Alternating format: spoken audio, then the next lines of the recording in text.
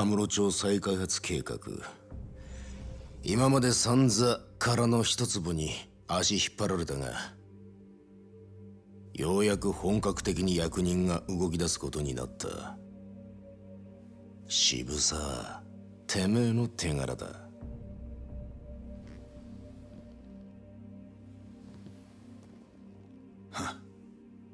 そんじゃこれからは渋沢を頭って呼ばなきゃいけねえわけですか。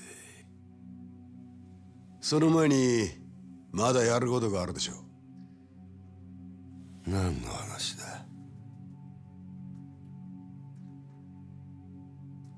風間組の始末です。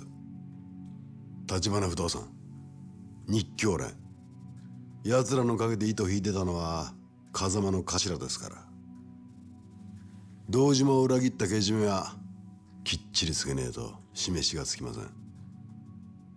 無所にいる風間の頭を消すってことかい。そんな中途半端なやり方じゃてっぺんなんか取れねえよ。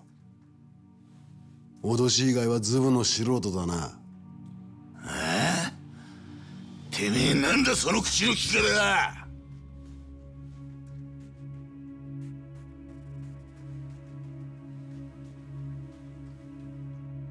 風間組の息のかかったもんは全員だ。連中を登場界からきれいさっぱり消さねえ限り桐生みたいな跳ねっかりがまた出てくる。ほら徹底的にやらしてもらいますよ。親父。